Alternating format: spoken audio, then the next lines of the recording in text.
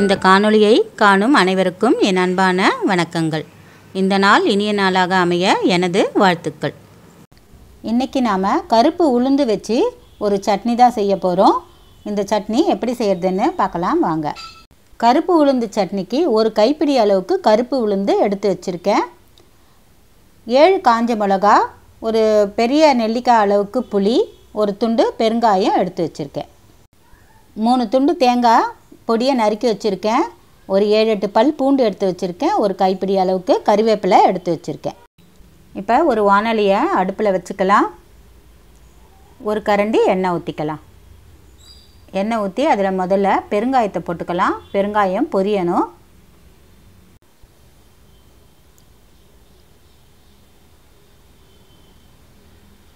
பெருங்காயம் பொரிஞ்சிடுச்சு.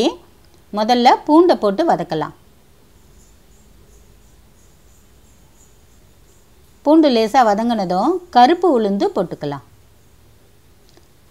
கருப்பு உளுந்து போட்டு நல்லா வறுத்துக்கலாம். அந்த நம்ம வெள்ளை உளுந்தாக இருந்தால் கலர் மாறும். அதை வச்சு நம்ம அடுத்த பொருளை போட்டுக்கலாம்.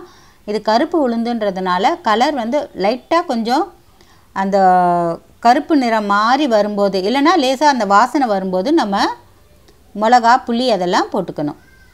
ரொம்ப விட்டுட்டிங்கன்னா தீஞ்சிடுச்சுன்னா நல்லா இருக்காது சட்னி. இப்போ நல்லா வாசனை வருது. நான் காஞ்ச மிளகா போட்டுக்கிறேன். புளியையும் சின்ன சின்ன துண்டாக பிச்சு போட்டுக்கலாம்.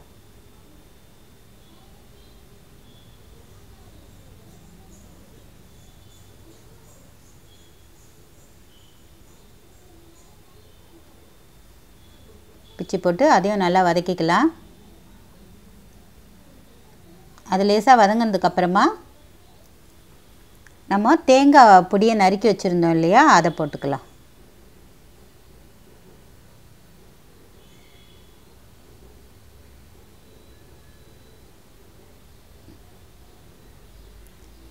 மிளகாலாம் நல்லா செவந்து வந்ததும் தேங்காய் போட்டுக்கலாம். தேங்காய் ரொம்ப நேரம் வதக்கணும்னு அவசியம் கிடையாது. சும்மா ஒரு ஒரு செகண்ட் ரெண்டு செகண்ட் வதக்கினா போதும். வதக்கிட்டு கறிவேப்பிலையை போட்டு வதக்கிக்கலாம்.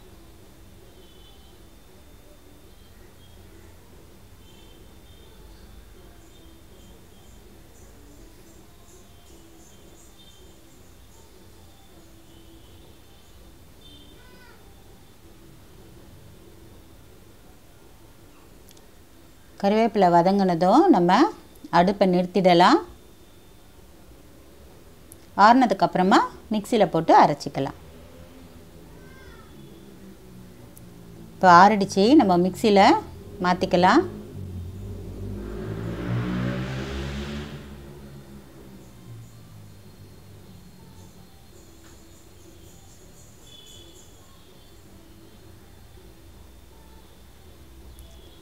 அரை டீஸ்பூன் உப்பு போட்டுக்கிறேன். அரை டீஸ்பூன் கூட இல்லை அரை டீஸ்பூனை விட கொஞ்சம் கம்மியாக போட்டுக்கிறேன். மூடிட்டு நல்லா அரைச்சிக்கலாம்.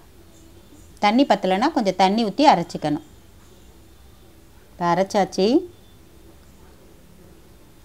வேறு கிண்ணத்தில் மாற்றியாச்சு இப்போ அதே வானலியில் ரெண்டு டீஸ்பூன் எண்ணெய் விட்டு கடுகு கால் டீஸ்பூன் உளுந்து கால் டீஸ்பூன் கருவேப்பிலை கொஞ்சம் தாளித்து சட்னியில் ஊற்றிக்கலாம் இந்த சட்னி வந்து இட்லி தோசைக்கு ரொம்ப பிரமாதமாக இருக்கும். அது மட்டும் இல்லை கருப்பு உளுந்து நம்ம போனுக்கெல்லாம் ரொம்ப நல்லது.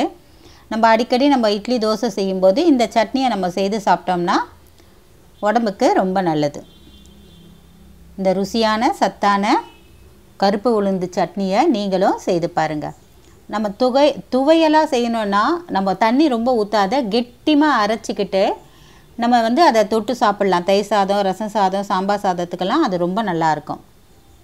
நீங்களும் இது போல் செய்து பாருங்கள் வீடியோ உங்களுக்கு பிடிச்சிருந்தா லைக் பண்ணுங்கள் ஷேர் பண்ணுங்கள் சப்ஸ்கிரைப் பண்ணுங்கள் இந்த காணொலியை பார்த்த அனைவருக்கும் என் நன்றிகள்.